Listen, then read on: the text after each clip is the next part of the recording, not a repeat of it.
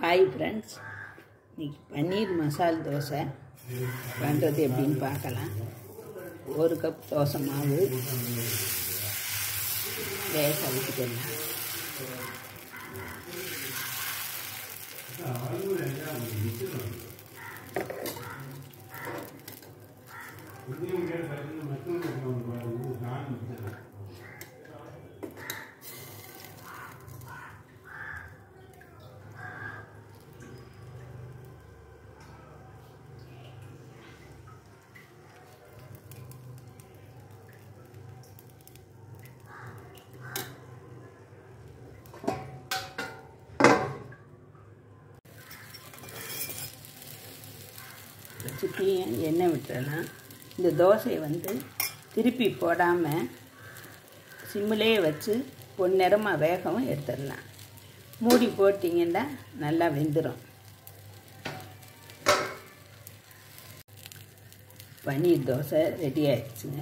திருப்பி போடாமல் நம்ம சிம் சிம்மிலே வச்சு வேக வச்சதுனால நல்லா முறுக்கலை வந்துருச்சு. இப்போ எடுத்து தட்டுக்கு மாற்றிடலாம்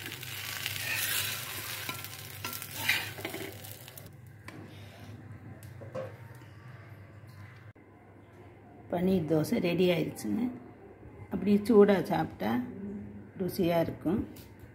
முருகலாகவும் வந்துருச்சு. நீங்களும் செஞ்சு பாருங்கள்